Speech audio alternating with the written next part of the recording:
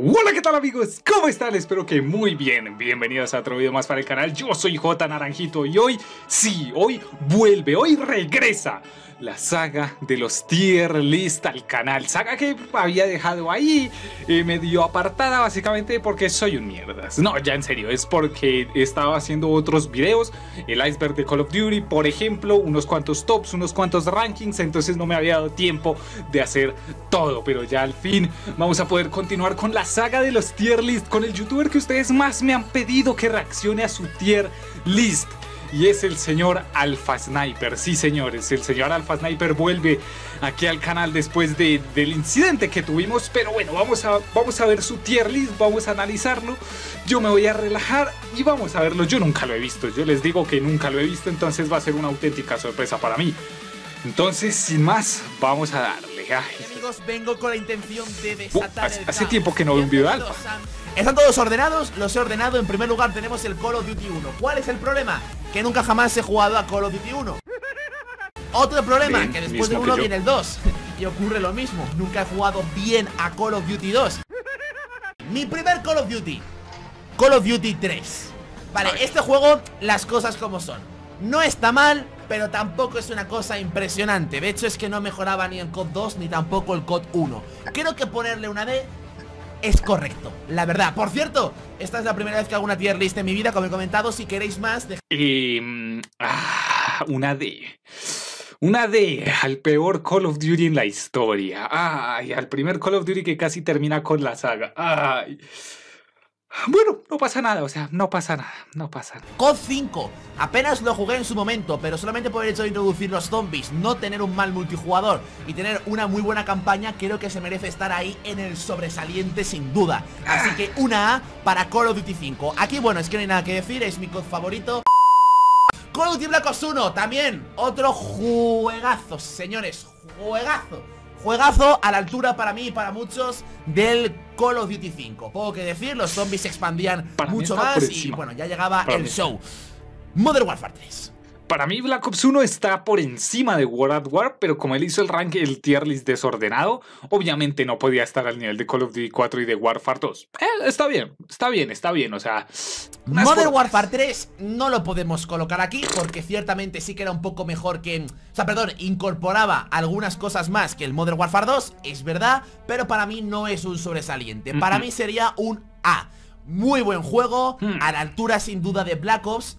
Ahora estoy viendo que, claro, si pongo que Modern Warfare 3, esto no lo puedo poner aquí. Pero bueno, lo voy a dejar por respeto simplemente y sobre todo por los zombies. Vale, está bien, correcto. Después, Vale, sí, vieron que ahí se dio cuenta del error que cometió. Eh, Interesante. Pues, Black Ops 2 Creo que tampoco tenemos ningún tipo de duda Esto va para la S sin duda por el modo multijugador El cual fue hiper equilibrado, un montón de contenido Mitiquísimo Y los zombies ¿Para qué vamos a hablar de los zombies de Black Ops 2, verdad? Sí, ¿para qué? Porque el primer mapa es una putísima mierda, el segundo es otra mierda del mismo tamaño, luego Buried mejoró un poquito y ya los últimos dos mapas vinieron a ser buenos. ¿Para qué hablamos de eso? ¿Cierto? Pues lo dicho, que se queda ahí aquí Ah. Así que vamos a Espere, dejarlo aquí qué, por qué pena, qué pena, qué pena, qué pena. Pero, ah, y no mencionó la campaña, o sea, increíble, increíble, insólito, la verdad. ¿Para qué vamos Pasó a hablar de los zombies de la Black Ops campaña, 2, o sea, verdad? Pues lo dicho, que se queda ahí igual. Call of Duty Ghost, ¿qué hacemos, chicos? Aquí tenemos dos opciones O contamos el Ghost de la salida En plan cuando salió O contamos el Ghost de cómo está ahora mismo Sea como sea, a mí este juego me gustó bastante Pero pensémoslo No mejoraba nada de Modern Warfare 3 No incluía nada ¿Qué? nuevo de verdad que mereciese la pena ¿Qué? ¿Qué? ¿Qué? ¿Qué? Ah. Ah. Que no mejoraba nada de Warfare 3. Que no mejoraba nada. O sea, en Call of Duty Ghost fue la primera vez que tuvimos un villano bien construido, una campaña con un argumento y un guion sólidos verdaderamente, con mensajes subliminales, incluso cliffhangers tremendos, personajes que no tenían dos, que no eran de papel. No, no introdujo nada. Menos mal que no. ¿Qué tal si, qué tal si hubiera introducido algo? Introdujo Extinction, que es hasta ese momento el mejor tercer modo de toda la saga. Menos mal no introdujo nada, o sea, Menos mal no mejoró en comparación a Warfare 3 y a Black Ops 1. Menos mal, menos mal, o sea... La campaña, bueno, dicen que no está mal, yo no la he jugado Ay, Y el modo Extinction, pues como chiste estuvo bien Pero la verdad que poco más, o sea, nadie recordará el modo Extinction como algo impresionante ¿Yo qué chingados? ¿Soy pintado o qué? Yo creo...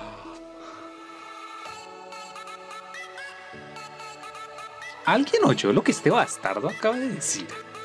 ¿Alguien lo escuchó? O sea, que como chiste estaba bien, siendo un juego que en una sola entrega, cinco mapas, desarrolló más, mejor y más sólida historia que los primeros tres zombies de, Black Ops, World at War, Black Ops 1 y Black Ops 2. Dejando Moon por fuera y claro, los últimos dos de Black Ops 2, pero a mí que, a mí es que me está dando algo, a mí es que me está dando algo, en serio, me está... La verdad, pero yo no lo pondría tanto a la altura como Modern Warfare 3, sinceramente, lo dejaría aquí. De hecho, ahora que lo pienso, también me dejar este juego aquí. Sí, la cosa... Bueno, no, que es que tiene los zombies. Ah, estoy un poco tentado de bajarle un rango al, al Wall Pero Advanced Warfare también tiene zombies.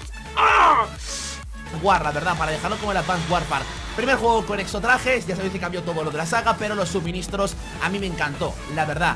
No era un pay to win, era un pay to not farm, es decir, podías conseguir todo de forma gratuita, eh, simplemente jugando, jugando, jugando y jugando. El caso es que eso costaba, por supuesto, costaba, costaba, pero aún así se podía conseguir. Con lo cual, entre eso, los exozombies, la campaña muy chula, la verdad, y primer juego con exotrajes, eso tiene que ir ahí. Call of Duty Black Ops 3. Bueno, tampoco o sea, creo que tenemos... Oyeron todo lo que dijo, ¿no? Oyeron todo lo que dijo. Campaña brutal, brutal. Multijugador increíble. Suministros brutales porque no eran pay to win como tal y como él lo dijo. Zombies geniales, movilidad avanzada y lo pone ahí.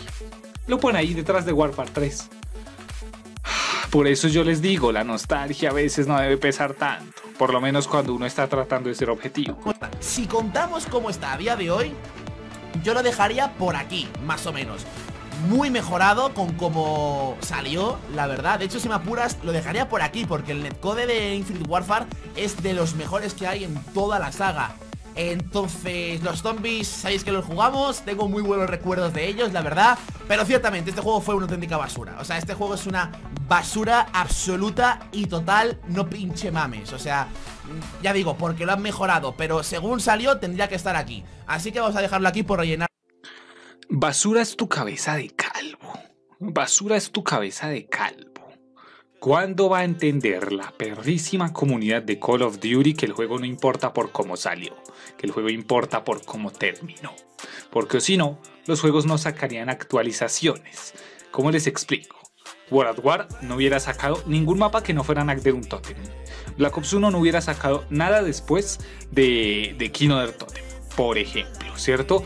En Warzone no meterían armas, no meterían mapas, no habría temporadas, o sea, ¿cómo les explico? ¿Cómo les explico? Yo me esfuerzo, yo lo intento, yo lo intento, pero ¿cómo hago para que esta puta comunidad entienda de una vez? El juego no importa cómo sale, importa cómo termina. World War 2. ¿Para qué? O sea, ¿para qué sacar este juego? Black Ops 4 no está mal no está mal. Lo dejaría aquí. Creo y lo pone arriba del Ghost. Correcto.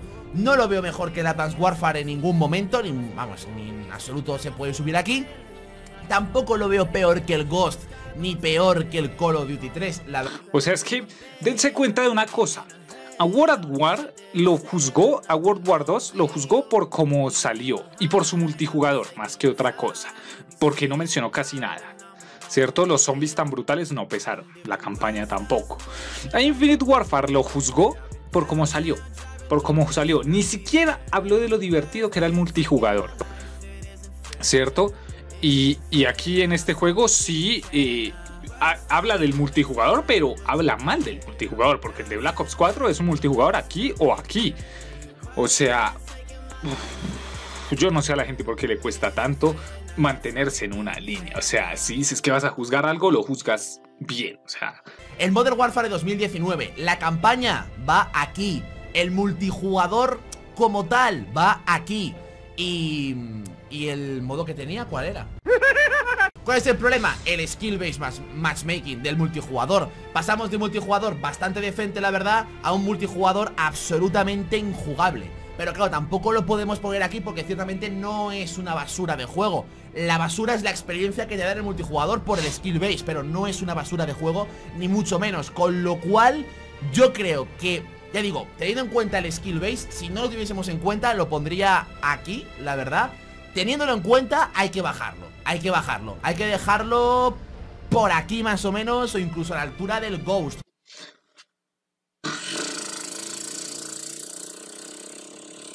si estuviera haciendo esto en directo, porque sería brutal, ¿cómo le explico al que acaba de llegar que el cabezón este acaba de dejar al Call of Duty Modern Warfare, el juego que revivió la saga, que trajo a Warzone, que a mí no me gusta, pero que es el bombazo más grande de la historia de la saga, que trajo las mayores innovaciones y todo eso, ¿cómo le explico que lo dejó al nivel del Call of Duty 3?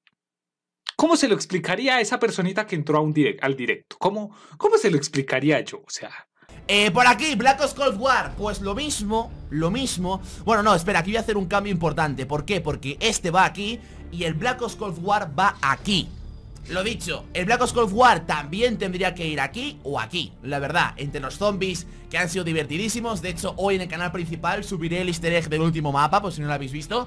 El de Forsaken, que lo conseguimos a la primera jugando solo. En fin, los zombies me han flipado La campaña no está nada mal, pero el multijugador pasa lo mismo. Multijugadores que pasan por la historia de la saga sin pena ni gloria por el skill based matchmaking que en cosa de 2-3 semanas a chupar la que se va. Así que lo dejamos por aquí.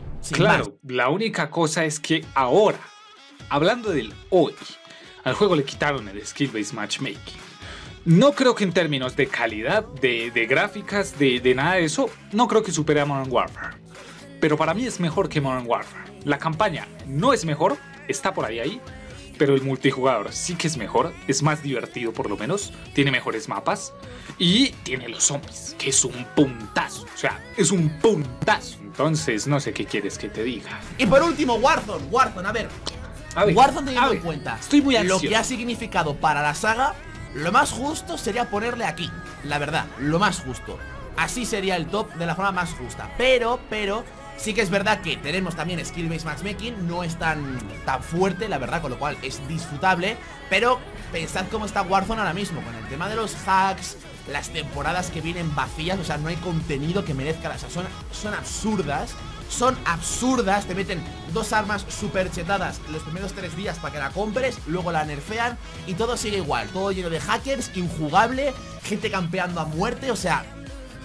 Lo dicho, Warzone, por lo que ha salvado Call of Duty, tiene que ir aquí. Ahora, por como está ahora mismo, no es una basura, porque no es una basura, ni mucho menos, pero el estado actual del juego lo colocaría aquí, o sea, porque es que es injugable, es injugable. Creo que es la primera vez que alguien habla la mierda que se tiene que hablar de Warzone. Creo que es la primera vez. Y de todo el tier list, creo que es la tercera vez que estoy de acuerdo. O sea, por toda esta toxicidad que se, ha, que se, ha, creado, yo lo dejaría aquí. Pero ciertamente, si miramos el fondo de lo que es Warzone, creo que lo correcto, teniendo en cuenta cómo está, es una C. Es un 6 sobre 10, más o menos. No se puede mirar el fondo porque Warzone no es un Call of Duty, pero te lo compro, te lo compro. Vale chicos, así quedó el tier list. Vamos a repasar, en el rango S está Call of Duty 4, completamente de acuerdo, muy bien. Modern Warfare 2, por otra cosita que veremos más adelante, no estoy de acuerdo, pero eh, se puede dejar. Y Black Ops 2, que es la mayor falacia que se ha vendido en la historia de Call of Duty. World at War en el rango A, que es otra auténtica falacia. Black Ops 1, que te lo puedo medio comprar también. Si pusiste Black Ops 1 Warfare 3 también te lo puedo comprar, pero es que estos juegos no son superiores a este ni a este. Y Black Ops 3, que bueno, sí, sí, puede estar ahí, puede estar ahí, o sea, yo te lo entiendo, yo te lo entiendo. Si lo dices por la campaña, yo te lo entiendo. Advanced Warfare, no sé a quién le puede caber en la cabeza que puede ir debajo de estos tres, pero bueno. Black Ops 4, que ah, pues es el Call of Duty más, es el Call of Duty más, con más poco contenido, o sea, ¿qué quieren que les diga? Y tiene de los peores zombies, o sea.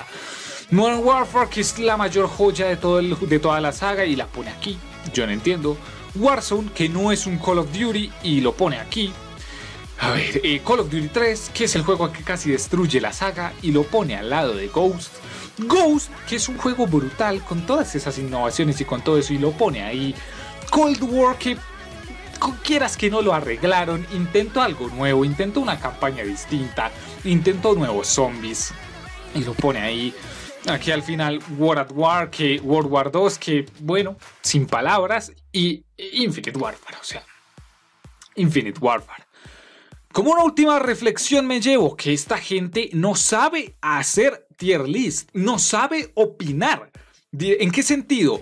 No es que no podamos estar de acuerdo, estamos, si estamos en de acuerdo es mejor aún, porque podemos discutir, pero es que debemos estar de acuerdo sentando unas bases previas en la conversación. Si dices que Warzone lo pones aquí solo por lo que significó para la saga, por los avances que hizo y todo eso, no puedes poner a Modern Warfare ahí. No lo puedes poner al mismo nivel, porque esto es un Battle Royale de mierda. Es un Battle Royale. El hecho de que sea un Battle Royale ya lo hace un juego de mierda. Entonces, no sé qué esperas. Luego, Warfare 2, que me parece incongruente. Ojo, Warfare 2 es mi juego favorito. Y me parece incongruente porque en comparación al Call of Duty 4, las, las mejoras fueron mínimas. Las mejores fueron mínimas. En comparación a Call of Duty 4, Advanced Warfare y Modern Warfare, cualquier juego hizo innovaciones mínimas. Pero es que claro, luego habla de las pocas innovaciones que hizo el Call of Duty Ghost, que según él no innovó en nada, no probó la campaña, entonces no puede hablar de ella o sea, increíble cómo lo calificas si no probaste el modo más importante, básicamente. la extinción lo pasó como una broma, o sea. Oh. Yo me voy a quedar calvo haciendo estos tier. Yo me voy a quedar calvo. Quédense con eso, amigos. Uno no puede ser tan incongruente en esta puta vida. Si vas a hablar de lo que significó un juego para la saga, tienes que hablarlo así para todos. Para todos, básicamente, para todos. Si vas a hablar de campaña, la hablas para todos. Y no hablas del que no jugaste, estúpido. Si vas a hablar de multijugador, lo hablas para todos. Ojo, consejo personal, no hables de, cómo el Call of Duty era. Habla de cómo el Call of Duty es. Porque no importa el pasado, importa el presente, amigos. Ustedes dirán, entonces Call of Duty 4, ¿por qué es tan importante? Por lo que significó para los juegos de hoy. Porque sin ese juego estos no existen. Es así de sencillo. Pero nada amigos, bueno, espero que les haya gustado mucho. Al fin reaccionamos al tier list del señor Alpha Sniper y salimos al guite enfadados. O sea, creo es que, es que no, no puedo estar de acuerdo con ningún tier list. No puedo. No, no, no. O sea, esta gente vende un humo, vende un humo, vende un puto humo de mierda. O sea, si lo escucharon, en ningún momento llegó a hablar de la campaña de Black Ops 2. O sea, increíble, increíble, amigos, increíble.